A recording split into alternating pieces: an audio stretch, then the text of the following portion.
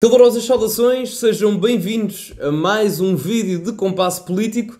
Desta vez, como no dia de hoje estamos em eleições brasileiras, vamos fazer o compasso político ou o votómetro do Observador, mas se antes fizemos para Portugal, podem ver o vídeo anterior, eu vou deixar aqui um link em cima. Agora vamos fazer sobre o Brasil para ver qual é que é o candidato que mais se identifica comigo. Bom, eu tenho uma sugestão relativamente a isso, ou mais uma previsão, mas bom, vamos, vamos testar. Um, se bem que a realidade portuguesa e brasileira são diferentes, mas, mas enfim. O combate à Covid-19 justifica a necessidade de lockdowns e as consequências negativas para a economia. Uh, esta era a mesma pergunta do caso português, portanto eu aqui não vou alterar a minha resposta. Portanto, o combate à Covid-19 justifica a necessidade de lockdowns? Não. E as consequências negativas para a economia? Discordo totalmente. As mulheres devem ter o direito de decidir sobre a interrupção da gravidez e o sistema público de saúde precisa de estar preparado para atendê-las. Para, para quem se recorda daquilo que eu respondi na questão portuguesa, eu tinha referido o facto do sistema público de saúde subsidiar aquilo que eram os abortos feitos nesse mesmo sistema público, ao qual eu era contra. A matéria jurídica do aborto era completamente diferente. E como, neste caso em concreto, falamos daquilo que é o sistema público pagar abortos, exceto, é claro, em casos de violação e má formação do feto, que no caso brasileiro está estipulado por lei, ao contrário de, de, do caso português, eu aqui uh, vou colocar um tendo a discordar, neste caso em concreto. Uh, e portanto, no próximo, terceira pergunta, o porte de armas é uma questão de liberdade individual. Num país violento como o Brasil, os cidadãos devem ter o direito de uso e porte de arma para se defenderem dos criminosos. Uma coisa importante é que a diferença entre o uso e o porte de arma, ou neste caso, eh, eles aqui têm o uso e o porte, mas neste caso o termo técnico é posse e porte de arma. A posse nós podemos tê-la na nossa propriedade privada, na nossa casa, no nosso trabalho, se a propriedade for nossa. O porte de arma é nós andarmos com a arma na rua. No caso do Brasil, tendo em conta a realidade presente, eu sou a favor e concordo totalmente com o facto de as pessoas poderem ter uma arma, mediante, claro, testes psicológicos. Não é à balda, vocês não vão ao Pingo Doce comprar um Guaraná brasileiro e compram também uma AK-47, uma Kalashnikov. Não é assim que funciona. Mas concordo. O porte de armas é uma questão de liberdade individual e de segurança individual também. E até coletiva, se pensarem bem. Portanto, faz todo o sentido. Concordo totalmente. Uh, já agora, se por acaso ouvirem barulhos, ou são os cães na rua, ou são os meus vizinhos de cima, ainda estou para perceber qual destas duas espécies de animais é que fazem mais barulho. Na Amazónia, é preciso punir exemplarmente o desmatamento e os crimes relacionados, como mineração ilegal e apropriação ilegal de terras, mesmo que isso afete a economia da região. Tendo a concordar com esta, apesar de eu uh, não sei qual é a resposta que eles dão aqui para o, para o teste do Bolsonaro, mas eu acho que nesta aqui eu vou ter em discordância com o Bolsonaro, presumo. Mas eu tendo a concordar com esta, porque apesar de tudo, reparem, a Amazónia fornece não só produtos ao Brasil, que depois se transformam também em serviços, mas muita parte do mundo está dependente da Amazónia. Portanto, se não houver um determinado cuidado a partir das próprias elites governamentais brasileiras, não externas, o Macron, por exemplo, estava. o Macron é muito crítico do colonialismo, não é? Do processo colonial, mas ao mesmo tempo está preocupado em usufruir da Amazónia como se aquilo fosse dele e o Brasil uma colónia francesa, que é de uma hipocrisia brutal. Portanto, eu tendo a concordar com esta, apesar de tudo. A criação e garantia de reservas indígenas deve ser uma prioridade do governo. Discordo totalmente. Acho que não precisa aprofundar o porquê, não é? Uh, próxima questão. A maioridade penal deve ser reduzida de 18 para 16 anos, pois grande parte dos crimes relacionados com o tráfico de drogas é cometidos por menores de idade. Na realidade brasileira, já agora, se começarem a ouvir ruído, desculpem, o meu PC começou a levantar voo, mas acho que como estou com o microfone externo, acho que isto até se aguenta minimamente. Uh, mas vocês são capazes de notar um bocadinho. Uh, bom, em todo o caso, o caso do Brasil é pior que Portugal, indubitavelmente, como nós sabemos. Uh, mas eu tendo a concordar com esta. Não vou colocar o concordo totalmente porque acho que baixarmos a moldura penal em todos os crimes de 18 para 16 anos parece-me demasiado. Agora, em casos de tráfico de droga, não em consumo, mas em tráfico de droga, ou em violações, ou em crimes mais graves, aí acho que a moldura penal baixar para os 16 anos faz todo o sentido. Portanto, vou pôr o tendo a concordar e não concordo totalmente por essa diferenciação. Uh, no âmbito internacional, o Brasil deve abandonar o alinhamento automático com os Estados Unidos e o Bloco Ocidental para investir na diplomacia Sul-Sul. A diplomacia Sul-Sul é o comércio dos países do Hemisfério Sul que historicamente são, menos, eh, são economicamente menos desenvolvidos que os do Norte. Uh, isso é verdade, já não estão hoje, nomeadamente com o crescimento económico dos NPIs, os novos países industrializados, muito também por causa do comércio sul-sul, uh, mas é isso que quer dizer. Aproximando-se dos BRICS, Brasil, Rússia, Índia e China, bem, eles não metem o último S, que é de South Africa, mas pronto, está bem. Fortalecendo o Mercosul e estreitando laços com países africanos. Eu concordo totalmente, embora eles, eles, o observador aqui utiliza a palavra abandonar, e eu acho que o Brasil não deve, nem vai, nem pode abandonar o alinhamento automático com os Estados Unidos, ok? Os Estados Unidos têm demasiado poder para isso e neste momento até há uma boa relação, até pelo estreitamento uh, e o aprofundamento de relações que se estabeleceu entre o Trump e o Bolsonaro. Uh, portanto, o Brasil, neste caso em concreto, tem que investir mais no comércio sul-sul e nos BRICS para próprio proveito pessoal, em termos de nação, obviamente, porque é isso que está a dar resultados não só aos BRICS, mas também aos países do comércio sul-sul, não é investimento na União Europeia mas ao mesmo tempo não deve hostilizar os Estados Unidos. É quase uma posição neutra, mas em termos do investimento para o futuro, em termos estruturais e económicos, olhar muito mais para os BRICS do que o mercado ocidental, isso sem dúvida. Uh, as universidades públicas devem cobrar algum tipo de mensalidade na medida em que grande parte dos alunos do ensino superior provém das camadas mais ricas do Brasil, tendo a concordar. Uh, isto, eu vou pôr tendo a concordar, estes testes são um bocado manhosos, eu já vos disse, apesar dos os do observador nem são maus de todo, mas há, a maior parte dos testes do compasso político eles tentam segmentar a realidade de uma forma simples. Portanto, eu vou dizer, tendo a concordar com esta, e eles vão achar que a minha matriz económica aqui já é um bocadinho mais de esquerda, quando na verdade nem é tanto, mas enfim, eu acho que se deve cobrar algum tipo de mensalidade a nível universitário, porque as coisas para terem qualidade têm que ser pagas. A maior parte dos serviços públicos aqui em Portugal que não são pagos, nós vemos o estado em que eles estão. Uh, é importante ampliar o apoio estatal, não só porque não são pagos, mas a gestão também é má. Então, quando juntou as duas coisas, foi isso que eu quis dizer. É importante ampliar o apoio estatal aos artistas, principalmente em áreas em que o mercado não gera recursos para a cultura, como artes plásticas, música clássica, manifestantes e manifestações populares regionais. Se a cultura é boa, vai ter lucro pessoas que mais lucram neste país, neste país ou na Europa Ocidental, nos Estados Unidos, são pessoas ligadas à cultura, ao desporto e afins. Portanto, se aquilo for bom, garanto-vos que vai ter lucro. Portanto, discordo totalmente. Os rendimentos de capital, uh, exemplos de dividendos bolsistas, heranças e grandes fortunas devem pagar mais impostos para subsidiar programas sociais. Discordo totalmente. A receita fiscal com o Bolsonaro, por exemplo, agora aumentou, mesmo o Bolsonaro tendo feito uma redução fiscal. Portanto, não é necessariamente por aí. Eu já referi isto no caso de Portugal, no caso do Brasil, de uma forma uh, veementemente mais forte, ainda o refiro também, que é o problema não é o excesso de ricos, é mesmo o excesso de pobres. Uh, e a carga fiscal, enfim, não, não vai resolver esse problema, ou o aumento da mesma. Temas como a sexualidade e a diversidade sexual não devem constar nos currículos escolares.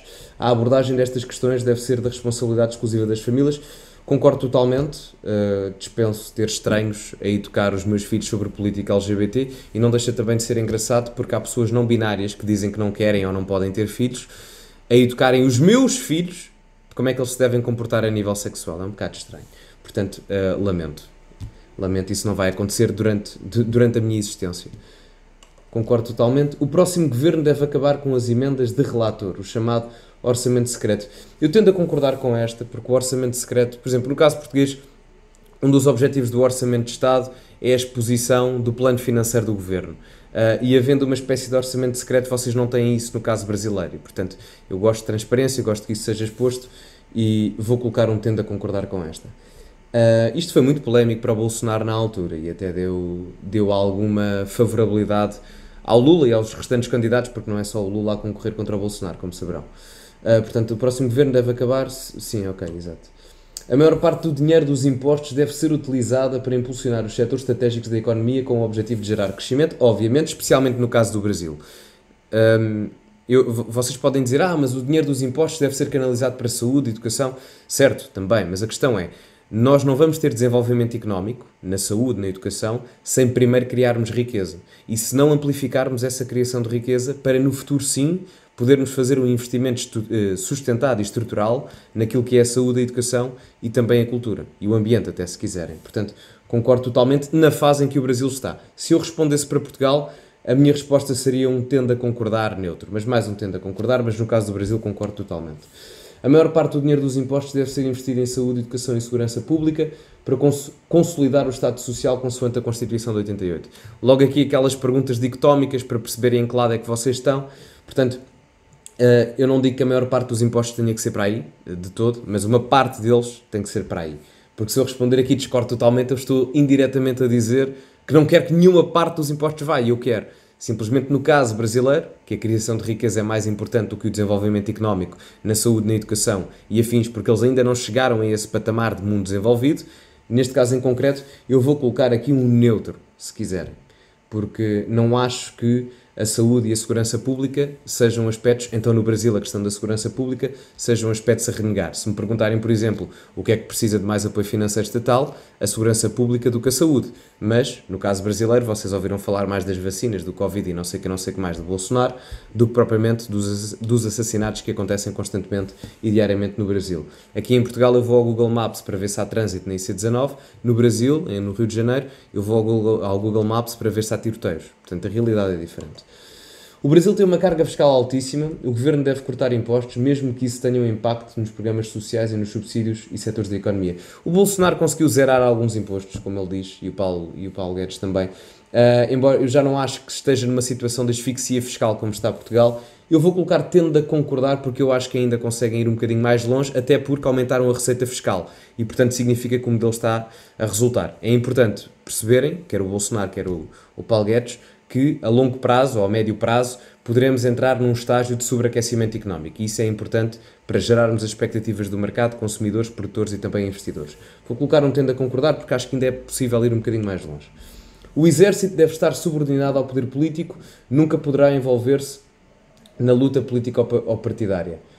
Uh, eu aqui, enfim, complicado. O exército deve estar subordinado ao poder político, nunca, nunca poderá envolver-se na luta político-partidária. Eu concordo com isto, porque reparem, o Presidente da República é o chefe das Forças Armadas, ok? E portanto, o poder, neste caso, o poder militar, se assim o quiserem nomenclar, tem que estar, eu não quero dizer submisso a isso, mas tem que cumprir uma determinada ordem. Se eles não derem um exemplo nesse sentido, será complicado vocês terem ordem e hierarquias nos diferentes setores da sociedade.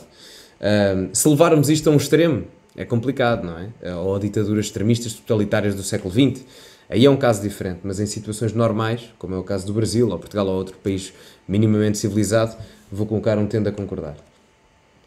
Uh, o governo deve ser rigoroso com a responsabilidade fiscal, criando mecanismos restritos do tipo, de teto, do tipo teto de gastos. Uh, no caso brasileiro, se não estou em erro, o caso português neste caso é pior do que o Brasil. O Brasil, neste momento, em termos de dívida pública, eu acho que ronda, não chega aos 80%, o que na realidade atual, pós-Covid, pós-pandemia, nem é muito. A média europeia, neste momento, acho que até é superior a 78%, que é o que o Brasil tem, em relação ao PIB. Portugal tem, por exemplo, 115%.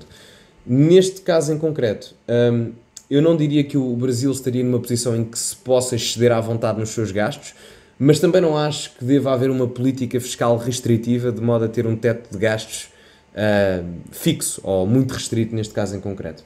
Portanto, respondendo ao Governo, deve ser rigoroso com a responsabilidade fiscal, criando mecanismos restritos do tipo teto de gastos. Eu vou colocar um neutro uh, no sentido em que não me é indiferente, não, não me é indiferente, mas no sentido em que acho que o Brasil tem alguma, alguma, alguma possibilidade de fazer uma giga-joga financeira em termos de finança pública, porque tem essa possibilidade, tendo em conta o contexto atual em que vivemos. A independência do Banco Central deve continuar, o seu papel deve ser essencialmente de controle da inflação, uh, sem preocupações com o desemprego. Uh, tendo, tendo a concordar. E a empresa pública de exploração de petróleo Petrobras deve ajudar a manter os preços dos combustíveis sob controle, mesmo que isso gere prejuízo aos seus acionistas. Uh, eu aqui tendo a concordar também, neste caso em concreto, tendo em conta o contexto atual em que vivemos, ok? Uh, no meio da guerra da Ucrânia e como isso influencia também os circuitos de distribuição, nomeadamente no Brasil, que é, eu não quero dizer neutro na situação, mas dado aquilo que vimos anteriormente da questão da comercialização com os BRICS, é importante que isso também seja, uh, não seja extremado, quer de um lado, quer do outro. Portanto, temos aqui agora a parte mais importante, combate à Covid-19, também o porte de armas importantíssimo. Um, ora, deixem-me ver aqui mais a criação de. Não, isso não é, não é dos. A questão internacional do Brasil é importantíssima. Ora, é importante ampliar o apoio estatal. Isto, isto não importa para nada. O apoio estatal aos artistas, isto não é.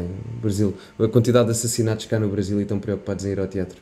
Uh, ora, deixem-me ver aqui mais. A maior parte do dinheiro deve ser utilizado, certo, aqui também. Uh, e a independência. Bom, parece-me.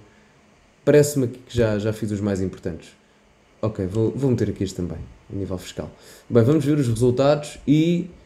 Ok, não sei se conseguem ver porque a minha câmera está à frente, não é? Mas pronto, os quatro candidatos, temos o Jair Bolsonaro em primeiro, a Simone Tebet em segundo, uh, também não me surpreende. Eu não desgosto de todo dela, ok? Ela é mais uma visão social-democrata com umas tendências liberais, ok? Depois o Ciro Gomes e depois uh, é o que me deixa mais feliz, não é ter o Bolsonaro em primeiro, é mesmo ter o, o Lula em último, que a probabilidade de eu ser assaltado neste momento é inferior. Portanto, não me surpreendo os resultados. Vou andar assim um bocadinho para baixo, que é para, se a minha câmera se estiver a sobrepor, digam. Uh, e depois, uh, temos aqui a bússola ideológica. Uh, ok, é curioso, é curioso. Não estou muito, ou seja, é giro porque hum, no, no resultado que me deu em Portugal, ou seja, em Portugal eu sou mais conservador do que no Brasil, mas no Brasil sou menos liberal economicamente do que sou em Portugal, na minha visão, ok? Obviamente que se eu vivesse no Brasil teria uma, uma experiência, uma perspectiva diferente daquilo que era a minha análise política. Uh, mas pronto, uh, no caso português eu diria que me colocaria mais à direita economicamente, aqui também, aqui também. Uh, mas, mas é como tudo. Não estou muito longe do Bolsonaro, nem da Simone Tebet em termos económicos, verdade seja dita, mas ela é aquele social, a social-democracia com tendências liberais. Mas pronto, meus amigos, espero que tenham gostado.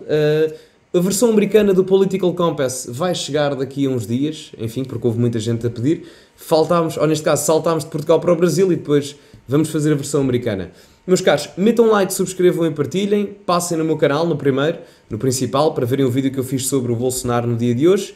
E por hoje é tudo, meus caros. Metam like, subscrevam e partilhem. Digam-me o que acharam nos comentários e que tipo de conteúdo assim é que querem que eu veja e que reaja e que faça. Só não me peçam vlogs à Bárbara Corby, está bem? Metam like, subscrevam e partilhem e acima de tudo cultivem-se e até à próxima.